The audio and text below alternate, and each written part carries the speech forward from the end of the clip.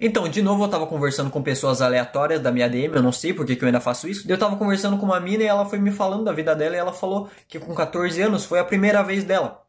E que foi dentro de uma geladeira. E daí eu perguntei por que? Ela falou, foi ideia dele. Eu falei, nossa, que cara frio, né? Daí eu fiquei curioso, admito que eu fiquei curioso e perguntei como é que foi. Ela falou, tava frio lá dentro. Eu falei, olha só, né? Quem diria? Mas, mano, eles transaram onde eu guardo meus frios, onde eu guardo minha mortadela. Só que ele foi além, né? E guardou a mortadela nela. Mas, tipo assim, tem tanto lugar para isso, sabe? Por quê? Mas também não vou ficar julgando, sabe? Às vezes eles não tinham dinheiro pro motel só pro frigobar. Deu ainda curioso sobre a história, perguntei pra ela, tá, mas como é que foi depois que vocês saíram de lá? Ela falou, ele nunca mais falou comigo. Pensei, nossa, que arrombado. Ele podia ter dado uma deixa incrível. Ele podia ter chegado nela e falado, então, as coisas esfriaram entre nós. Mas eu falei pra ela, olha, relaxa, tá bom? Fica tranquila com isso. Ele só tá te dando um gelo. É, é Conselhos amorosos. É, né? Eu não queria falar nada, mas parece que essa minha amiga aí entrou numa fria.